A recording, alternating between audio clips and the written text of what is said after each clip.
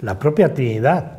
Imaginaos que es posiblemente el dogma más patriarcal del catolicismo.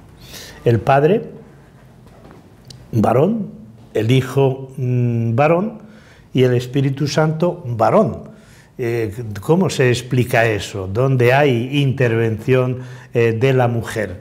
Precisamente por eso a mí me gusta mucho la nueva formulación, incluso en el lenguaje de la Trinidad. Luego, eh, de Cristo, pues se habla también de Crista, y del Espíritu Santo, del Espíritu Santo se habla de la Espíritu Santa.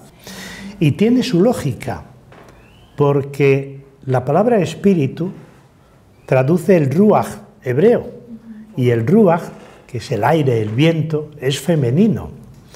Cuando ya lo traducimos al griego, eh, lo traducimos como neutro, toneuma. Y cuando traducimos del griego neutro a las lenguas eh, vernáculas, eh, pues lo traducimos como varón. Por tanto, estamos ahí haciendo una construcción patriarcal inconsciente que es necesario, mm, que es necesario desmontar.